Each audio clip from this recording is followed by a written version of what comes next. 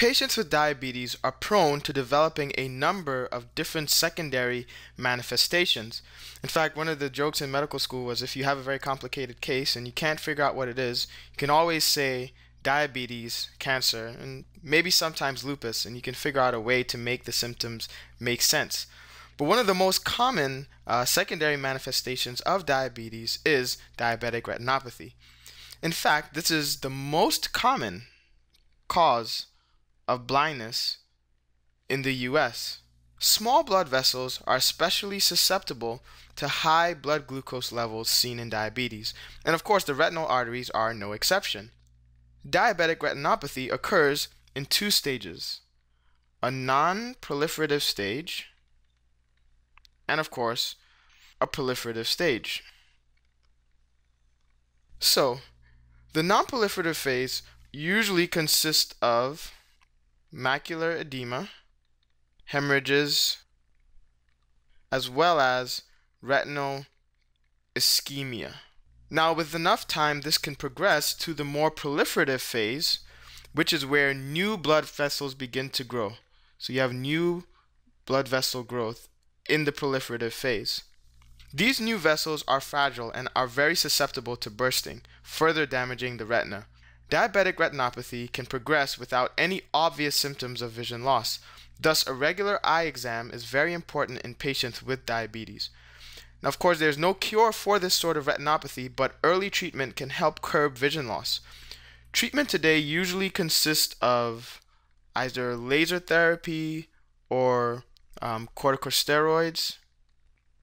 You can also see anti VEGF therapy or vitrectomy, which is a removal of the vitreous.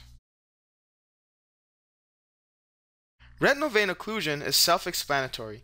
It is blockage of retinal veins and can occur in the central vein or in one of its branches.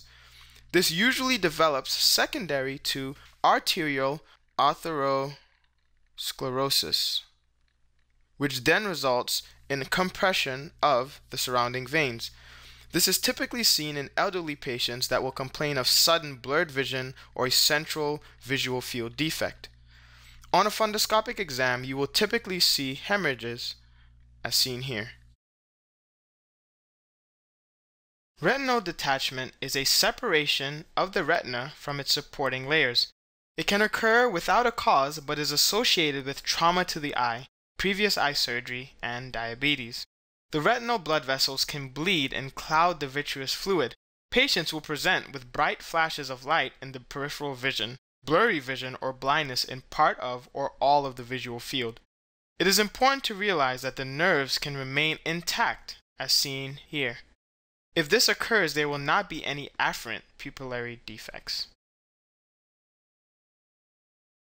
Retinal artery occlusion is caused by embolization of plaque material from the ipsilateral internal carotid or the ophthalmic artery. So who's your typical patient? Well, it's a middle-aged man with carotid artery disease presenting with sudden, painless, and complete loss of vision. On the opto exam, you see pallor of the optic disc as seen here. You might also see what's called boxcar segmentation of blood in the retinal veins. In addition, you may see a cherry red spot of the fovea because the retina is quite thin at that location. An example of that is seen here. Now, in what other disease would you see a cherry red spot? This disease is caused by hexosaminidase A deficiency. The answer here is Tay-Sachs disease. And cherry red spot is one of the uh, most common clues that you will get for this disease. Retinitis pigmentosa is one of the most common inherited forms of blindness as a result of retinal degeneration. Now, although there are many different gene mutations that can result in the retinitis pigmentosa phenotype, this disease typically affects rods first. And that is why patients typically present with loss of night vision. In fact, loss of night vision is usually a very good clue to point you towards retinitis pigmentosa on the board exam. Other symptoms can also include tunnel vision, as well as loss of central vision. One other thing you should look out for on your exam is the black bone spicule pigmentation that can occur on the retinal epithelium in retinitis pigmentosa. In fact, that last part of the, the name, pigmentosa, should help you to remember that this is one of the uh, commonly seen presentations on the fundoscopic exam. But first, we will have a flash quiz. A patient walks into your office. He has extreme pain in his eye as well as vision loss that occurred rapidly. What drug should you definitely not use? I kind of really set you up for this one. You should not use epinephrine. This patient has acute closed angle glaucoma. Epinephrine leads to mydriasis, and as we discussed, this will further close the angle and actually make the problem a lot worse. Retinitis is simply an infection of the retina. Now, the most common cause of retinitis is CMV infection, and this typically occurs in immunocompromised patients. And this is what you're looking at here. In the fundoscopic exam, you can see inflammation which can manifest as cotton wool exudates and retinal hemorrhages. Now, what type of virus is CMV? It is, of course, a herpes virus, which means that it has what type of nucleic acid? Herpes double-stranded DNA. Untreated, it leads to progressive vision loss as well as blindness. Now you should know the treatment for CMV, and that includes foscarnet as well as ganciclovir.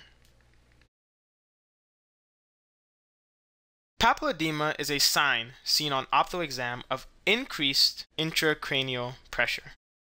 Essentially, when you look through a fundoscope, the optic disc margin is blurry as you can see here.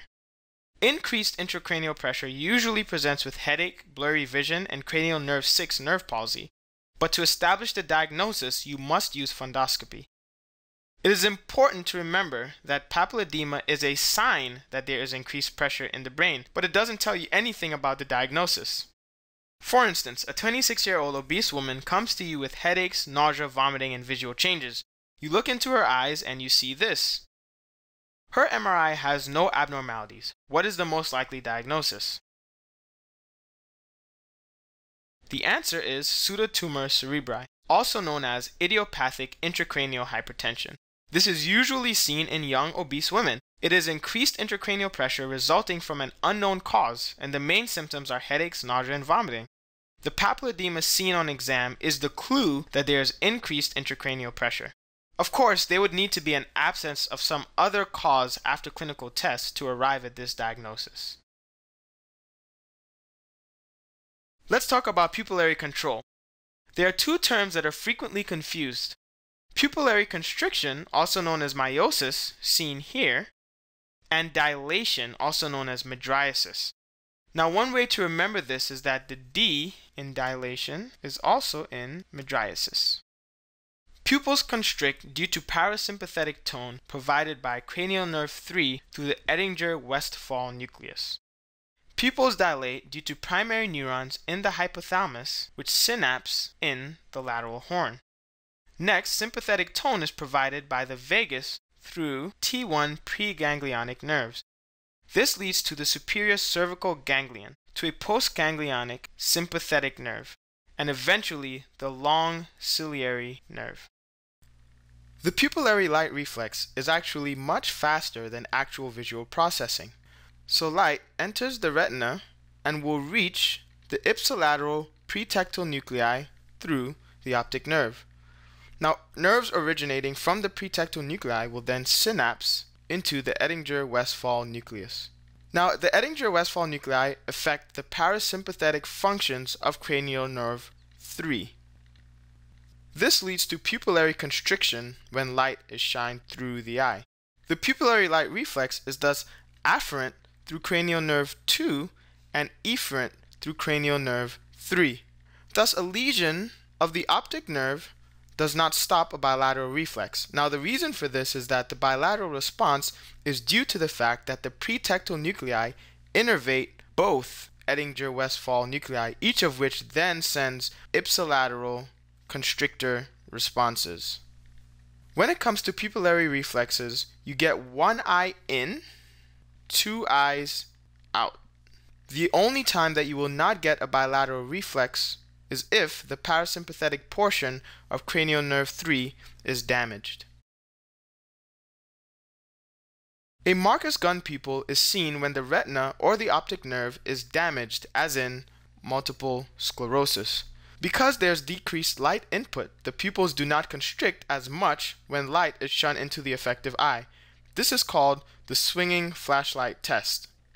When you shine the light into the non-affected eye, you produce a direct pupillary constriction in both eyes.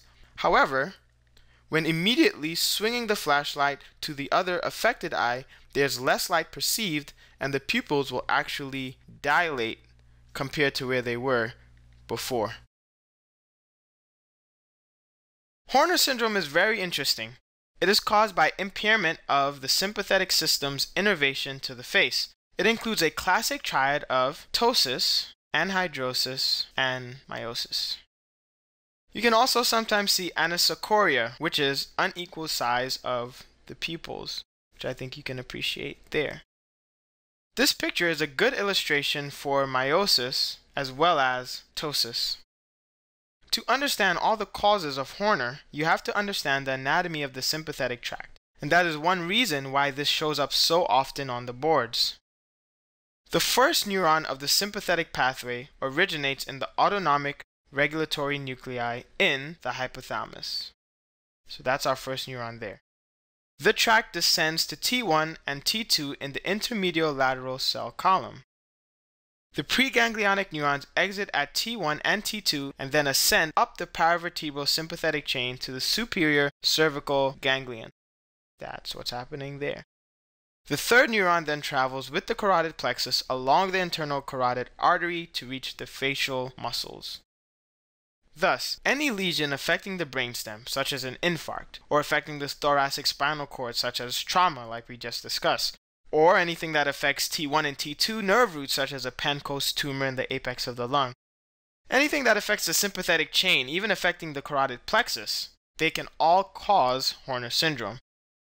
Now, this classic triad that I mentioned, ptosis, anhidrosis, and miosis, is one that you should definitely know. It's very high yield. Another high yield association you should know is that of a patient with a Pancoast tumor in the lung that presents with Horner syndrome. Papilledema is a clinical sign of what pathophysiological event? So you should know that papilledema is a fundoscopic sign and is usually indicative of increased intracranial pressure. There are six muscles that move the eye around and three cranial nerves that innervate those muscles. Cranial nerve 3 actually innervates four of the six muscles. It innervates the superior, inferior, and medial recti muscles as well as the inferior oblique. Cranial nerve 3 also controls pupillary constriction as well as the levator palpebrae muscle. Cranial nerve 4 only innervates the superior oblique muscle, while cranial nerve 6 innervates the lateral rectus. So how do you test these various muscles? One option is to have the patient's eyes follow your finger as you make an H. Now different muscles are necessary for specific segments of this motion. For example, the inferior Oblique is isolated when the patient's eye is looking nasally and up, while the superior oblique is isolated when the eye is looking nasally and down. So which nerve would you be testing if you isolated the superior oblique? Well, then you would be testing cranial nerve 4.